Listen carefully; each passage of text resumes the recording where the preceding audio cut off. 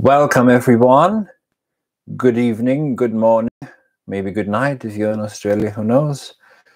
My name's Johannes, and I'd like to introduce my course on German Idealism, which will begin, it's Tuesday now, which will begin in exactly four days on Saturday, June 18th. That's when the live group seminars will begin, which we hold over Zoom. So if you know anyone who's interested in German idealism, do let them know about this course and also maybe send them the link to this stream.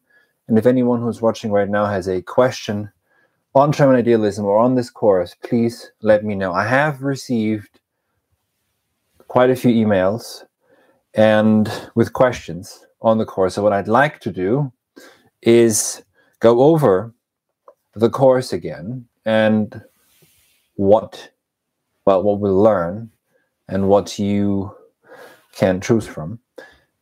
And then also respond to some of the questions i received via email because i think it's probably questions that everyone has. But if you have questions please let me know in the chat. And if you want to enroll now you can do so by following the link in the description of this video. It takes you to a platform called teachable which is where the course is organized.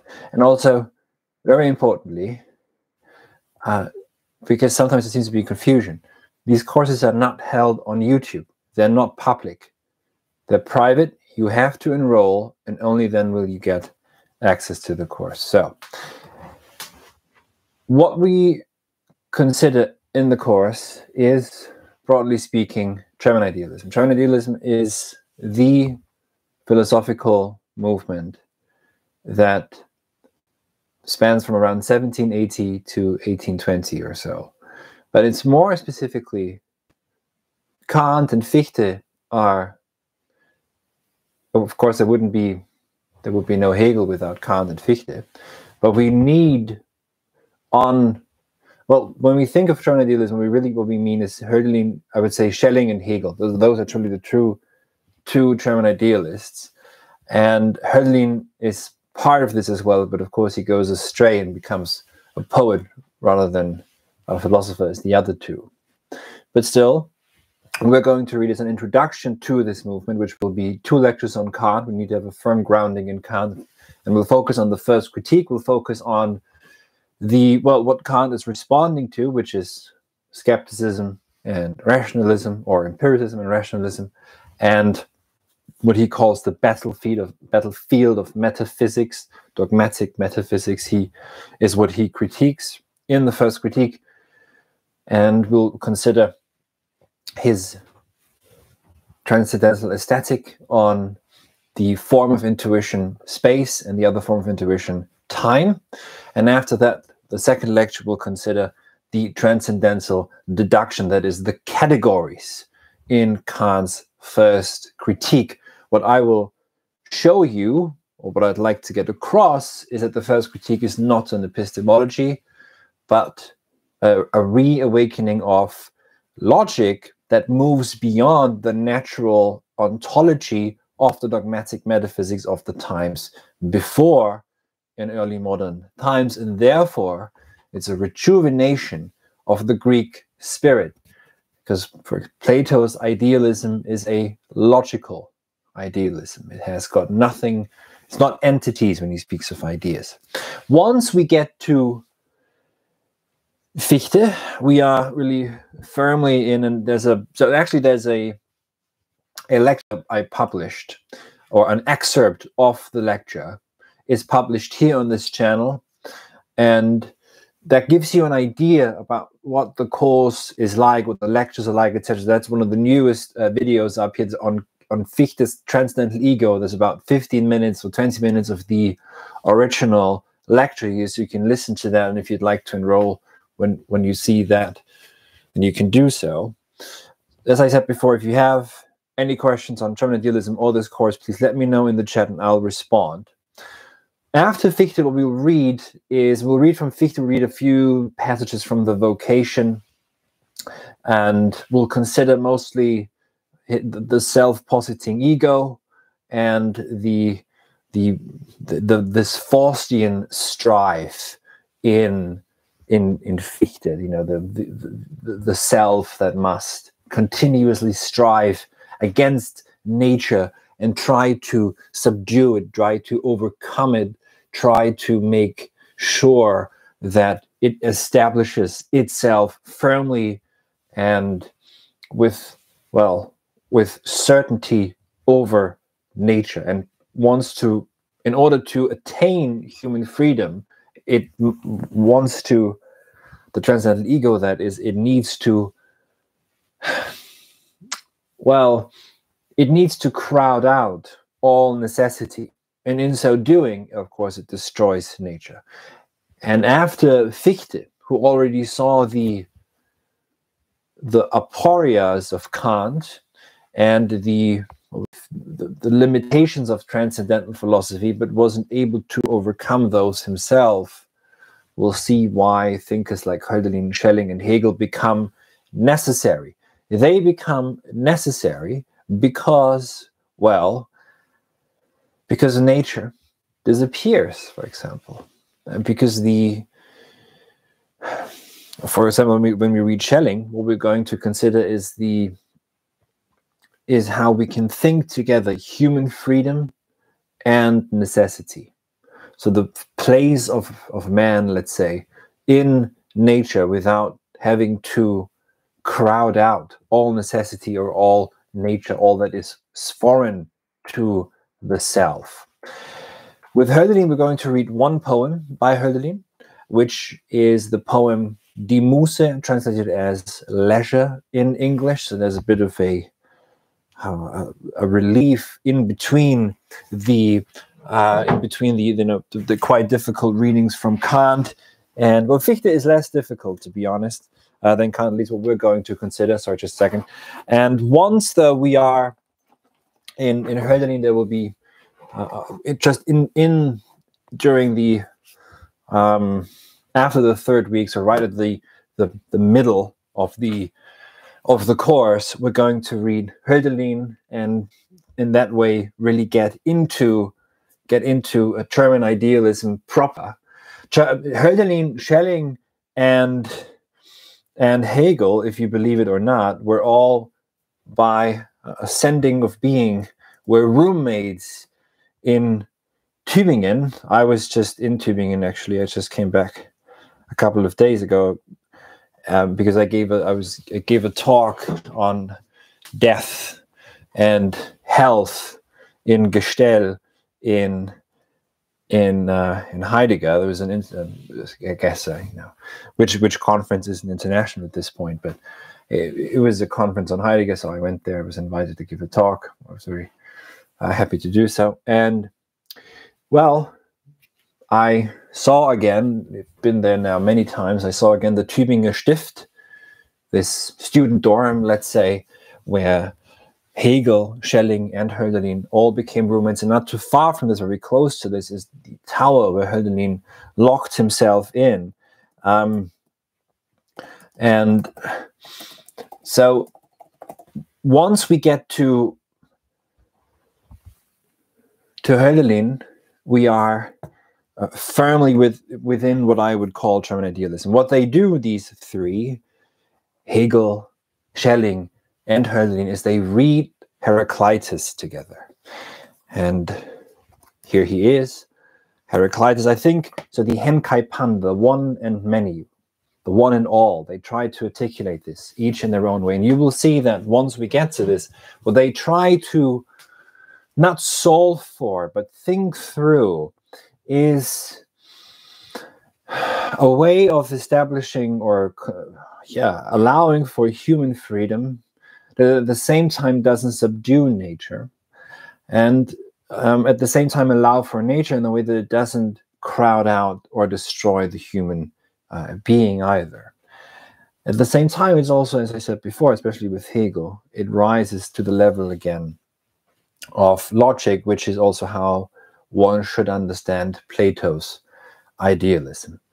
It is one, the eide are logical principles, they're not entities or things or any such silly uh, reification. So that's a word we're going to hear quite often during the course is the word reification. It's a, uh, an attempt, these are attempts to think in enactment rather than reifying and talking about different things, as it were. So, anyways, Hölderlin, Schelling, and Hegel read Heraclitus together and try to articulate how there could be a harmony between opposites. Hence, Hölderlin coins the term the, the harmoniously in opposition. And he tries to not solve it, but withstand it in his poetry.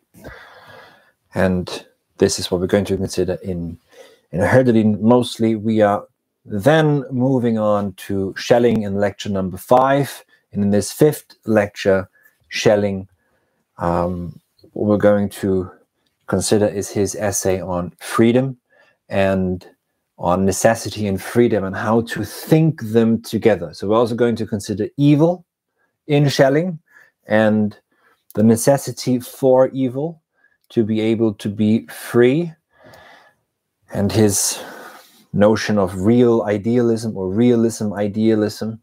And in Schelling, what we will find though is that there's he always his thought moves with a certain givenness. So there's uh, just, the, the real is simply presupposed, and it it becomes not what he actually blames Spinoza for, and he does that rightly. He blames Schelling does he blames Spinoza for the sterility of his mechanical philosophy. But still, there's a threat in Schelling that human freedom also uh, disappears precisely because there's always a givenness.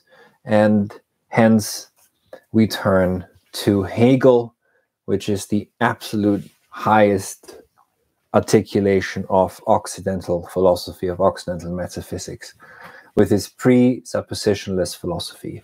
There's the final lecture where we're going to read together the beginning of the science of logic, where we're going to read being, nothing, and how they collapse into each other or vanish into each other. And through their vanishing, becoming uh, arises as the first proper category of the logic, a proper presuppositionless philosophy. So that's a short overview over the course. As I said before, if you have questions on German idealism in general or on the course specifically, let me know, please. I'll respond. So just type it into the chat. If you want to, um, you can enroll now. There are three different options. I'm going to uh, just talk about this very briefly, what they are. And well, they are the following. You can either do self-study, that means you enroll now, you get access to six lectures, plus so video, audio, and the lecture notes, and you can study it at your own pace, at your own time, for as long as you want. You have access for uh, ad aeternitatem, so for all eternity. Then the middle tier is the fellowship or seminars which begin this Saturday. So in about four days, if you enroll with that, I'm so that's one of the questions from the emails is is there a TA? There's no TA. I lead the seminars. So I will be sitting here. We meet over Zoom and then we discuss your questions, but we, you also have a breakout sessions, smaller group sessions with everybody else in the course. So if you you can experiment with your own ideas, you meet new people to discuss philosophy with over the course of seven weeks in total. And you also, during this time, you will be asked, you don't have to, but if you want, you can, you can send me up to two essays, short essays, and I will give you not feedback because that's cybernetic language. I will provide you with genuine commentaries. I'll try and think with you what it is that you were trying to say and give you advice on how to improve your writing and also what to read next, etc. And this will be leading up to the final seminar, the pro seminar, where you present your own talk. So you can write, for example, something on Kant at the beginning, maybe something on Schelling a bit later on, and then present a talk on Kant and Schelling at the last seminar. Or, of course, you can present something on Hegel in the final seminar too. That's perfectly fine. So that's the middle tier, and then there's one left, which is the the third tier where you get uh, six private sessions with me. So if you have, if you want to meet with me to discuss these texts and for the detail, or maybe you have a writing project or so, I mean, do make sure that it fits with what we're doing here. If if you're writing on Dostoevsky or or something something aliens, no, I mean it has to be probably on German idealism, I would think. Um, so that's the highest. If you follow the link in the description of this video now, then you'll see the um, you'll see the the website where you can enroll. And as I said before, this is not available uh, on YouTube. So enroll here. I'll put it in the chat. Please let me know if you have any questions, by the way, on the course. So let me know in the chat now so I can respond. That's the link to enroll. I just put it in. So uh, let me see. Uh, so you can use this, I'll copy paste it. Okay. So give you a hundred dollars off, but you have to enroll now, and there's only three left or so of this coupon. I have to limit that a bit. So, anyways, let me also respond to some of the questions I got over email. So the first one was whether there's a TA. There's no TA. I'm the one who's leading the seminar. So I'll be sitting here and taking your questions. You come in, I introduce the topic for the day to the group. Then we have a first breakout session. Then we go on with the with the group discussion, and we I probably send you off to another breakout session. Then I'll split it up a bit this time, uh, so we have a bit of an interruption in between those, so you can ask questions and come back and uh, then go back out into a smaller group. But there's always enough time to ask me questions. Usually the seminars are two hours long, but quite often um, they go a bit longer depending on the group size. So they can be maybe two and a half hours or so, depending on on the mood also. So there's another question that I got, which was how much time, if you enroll for the middle tier, the seminars, how much time you think you might have to spend. So think about it in this way. If, for example, during the week, you uh, you maybe you listen to the lecture, my lecture, the pre-recorded lecture. That takes about 55 minutes, maybe an hour. So maybe you, you listen to it on your way to work or so and split that maybe over two days. Maybe you take some notes, some things that are unclear. So that's an hour. And depending on which time zone you're in, of course, you can spend some time Friday evening uh, reading a bit. The readings are not very long. Uh, with, in terms of with Kant, it's quite difficult. With Hegel, it's going to be very difficult. Fichte, Hölderlin, Schelling, they're not that difficult, I would think. So, but if you maybe invest invest another two hours, spend another two hours or so on the readings, plus uh, than the seminar. So you can look at maybe three hours or so of preparation plus the two hours of seminars. Anything that's unclear, we'll try to um, explain. Not too much, of course, because we need to have some mystery left in it also. But once, so maybe all in all, four or five hours or so per week. And of course, the idea is not that you walk away and become experts or so. This is a, an introductory course that if you take enough notes, you can always come back to the lectures. And when you do, over time, over the next years or so, this is how it was for me also as a student. This is what it was like. I took a uh, a seminar on on dialectical logic many many years. I think now five or six years ago in, Vienna, and I still to this day go over my notes from this one weekend where I learned so much. It was about eight hours or so per day for two and a half days. And during this time, I took lots of notes, probably didn't understand all that much. Um, just so when you go to a conference, I usually take a lot of notes and can always come back to it. The same idea here with a course such as this one. And as I said before, please let me know if you have any questions before I go so that I can um, respond to them uh, while I'm still here. I think also maybe just to explain, we're going to read. This was another question if I recommend any secondary, uh, so called secondary sources.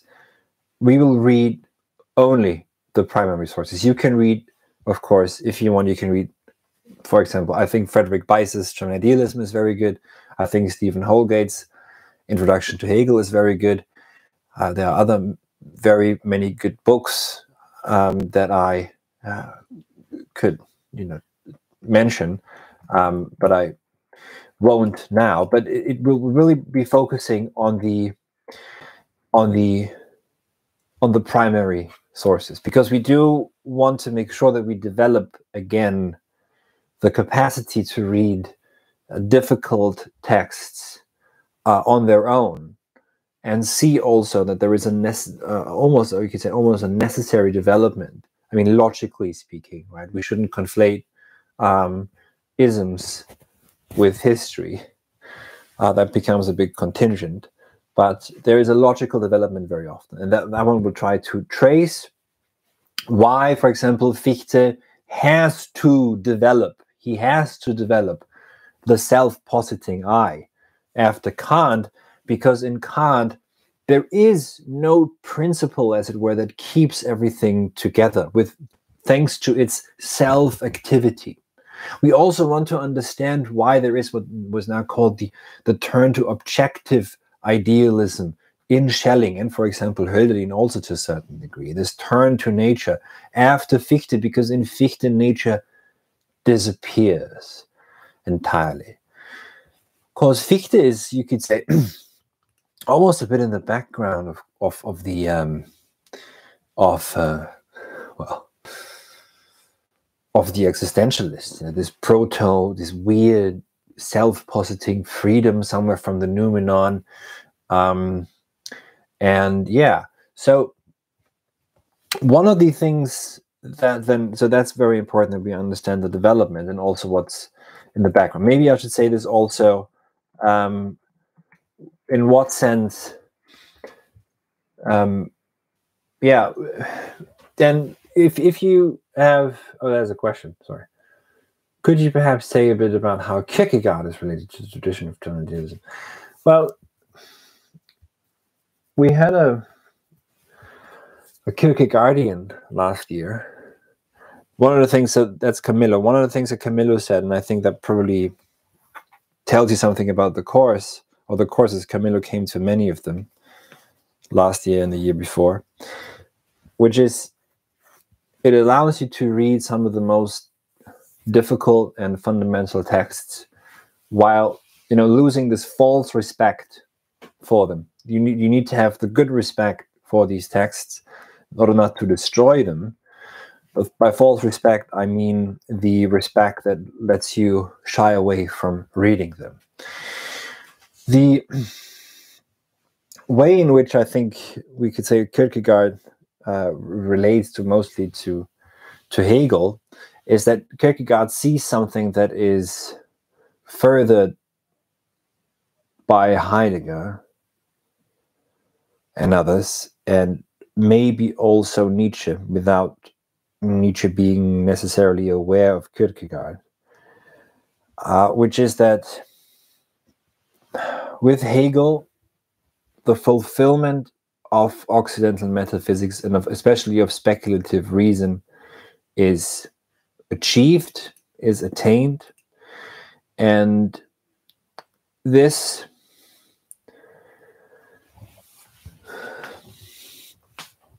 is at once a triumph as much as it is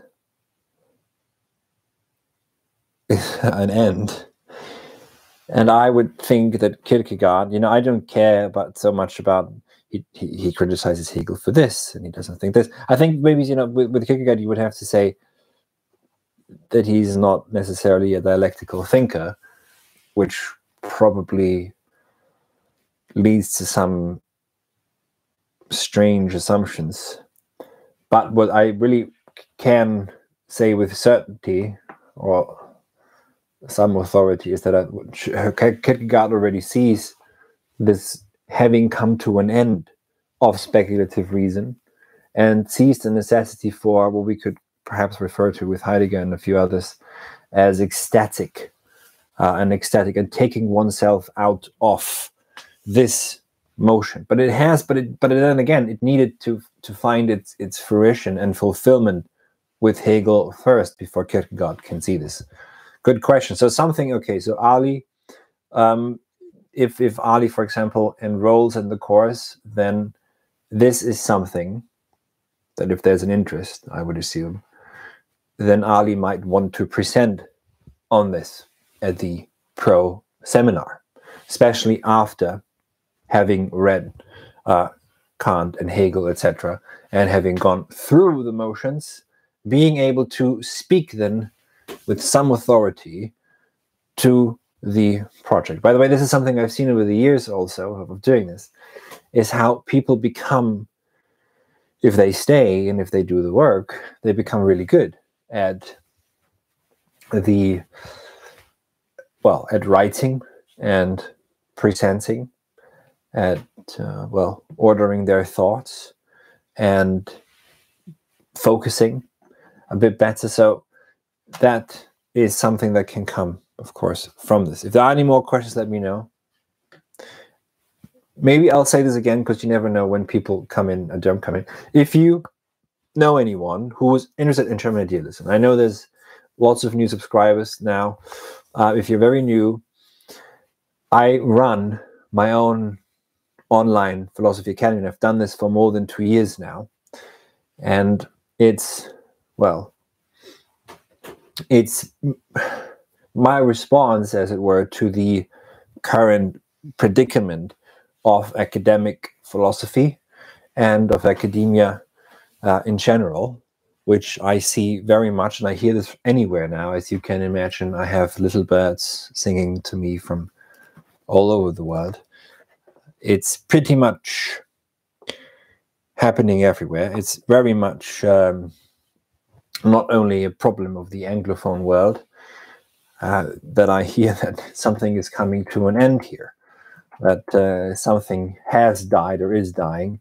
As you know, in, in philosophy, simply analytical philosophy is absolutely and completely colonizing everything and everywhere. Uh, at the same time, they have absolutely no access to thought in the proper sense. I would think it's a bit of a weird enterprise that collapsed with Quine, but still they keep going, and no one knows why. Um, but still, there's other issues. You know, not, not these not these old battles between the Continentals and the Analytics. There is simply something very rotten at the core of the university uh, and it is no longer the place for scholē, for proper leisurely activity and formation of the soul, the body, and the spirit, but it has become a graveyard. Uh, not even a graveyard, if only it were a graveyard. You know, there, would, there might be some respect for the dead bodies, but not even that's left, I would think. And whatever is going to wake it up again, I won't be the one doing it. That's why I left and I'm outside. And yeah, I yeah, Ali, that's good. I agree. And so if you, so yeah, so so this is you know my my way of of, of trying to live you could say live philosophically which is a bit of you know sounds a bit like a cliche but uh well, to, to profess publicly, uh, which is what a professor does, and not only profess, but then also act and enact accordingly and try and be open to the transformation that is necessary that comes with it. At the same time, of course, as I just mentioned before, I, you know, this is never personal. I speak with academics, I go to academic conferences if, if I get invited. Um, this is not to say this is not either or. Is not black and white. This is not uh, that. It's not that simple. Uh, where we are, uh, there are extremely good people inside the institutions, obviously. But um, the problem is what the institutions themselves or the institution itself has morphed into. And that has, you know, certain implications, but has certain roots that cannot be, I think, uh, either discussed away or cannot be optimized away. Um, so I think we're at the uh, at the at a very at a, there's a you know at the very edge of what a university can be, and that has to do with technology, but not only. It also has to do with um, I think with shifts in let's just say in history itself in the Occident that make the university not obsolete but no longer the place where it can where knowledge or wisdom or true formation can reside and uh, i'll leave it at that so this is my response of trying to build something that can withstand these shifts and that will also come out on top at the end of this tsunami that we are living through. Let me know if there are more questions on the course on German idealism. I hope that you can enroll. We start in exactly four days from now, this Saturday, June 18th. And we're going to read Kant, Fichte, Hölderlin, Schelling, and Hegel. I lead the seminars. You can ask me questions. You can discuss it with the other your peers in the group. You can present your own talk at the end. You can write short papers and essays in between. And well, while you do this and you have enrolled, you have also become, I have to say, a patron, a modern day patron of the arts. Not only do you get a course, but you can, well, you support the work here on the channel and of the academy. As you may know, there are other people already teaching here. Also, there's Daniel Zaruba, who teaches courses on Japanese philosophy. There's Philip Nicholas, who last year taught a masterclass on Hegel and will at some point soon maybe later this year, early next year, will teach a course on Hegel's phenomenology of spirit. He has also gone through the very good school of Stephen Houlgate, who was at Warwick, where I was as well for my PhD, which was on Heidegger. And I've I've got a bit of Hegel and and, and Kant in my in my book and in my thesis. So yeah, well, you will be supporting not only the work, but also helping build an academy. And if you have any questions, just leave a comment because I now have to go. Leave a comment, I'll respond if it's specifically on the course. Everything you need to know on enrollment is in the um there's in the in the description of this video there are links, etc. So yeah, well, so as Daniel is here, apparently, Daniel just wrote the following. So Daniel is the gentleman from Vienna who teaches, and very well he teaches. Uh, he taught a course on Nishitani's Religion and Nothingness last year, and this year a course Introduction to Japanese Philosophy. And Daniel just wrote the following: To everyone who's interested, there are also extracurricular activities such as movie nights and reading groups, and many participants form intimate friendships and fellowships. So, Daniel came two and a half years ago for the first course. Now he's a teacher, but also, I think it's very fair to say that Daniel is always involved with different uh, reading groups that form from the seminars. And people usually, if you're active, you will stay in touch with not everyone, but with some of the people. And Daniel, I, I, as I know, has become friends with many. Some of them I've invited to come to London this year, but that's a different story. And also, you, well, you'll see that there are others out there who also want to read uh, philosophy, and you you'll be able to meet them. And none of this is structured, of course. So what happens what whoever you meet during the seminars. There's no. Uh, this is what a university, I think, should be, or or seminars should be there for, and and good conferences should be there for also that you meet friends and continue the the work outside the classroom. So the classroom is only the is, is where is where the ignition happens, but then everything else you continue on your own afterwards. I, as far as I know, there's there's to this day there's a there's a reading group of people who read Plato's Timaeus. Uh, during the first year, there were there was a group. Daniel was involved with it. Daniel was involved with it. They read Being in Time together, Heidegger's Being in Time, and last year, as far as I know, there was a reading group also uh, on Hegel, and yeah, so do come, do join, come if you you know come to the course. You'll be involved with with the the larger group afterwards if you're active. And i hope to see you all inside the idea or to quote uh, philip niklas keep it ideal. So i'll see you on saturday in four days exactly for the first group seminar on german idealism and if you know anyone who's interested also, please share this video with them and let them know that they can enroll. And I hope to see you all on Saturday. Thank you very much indeed. I shall retire. Good night.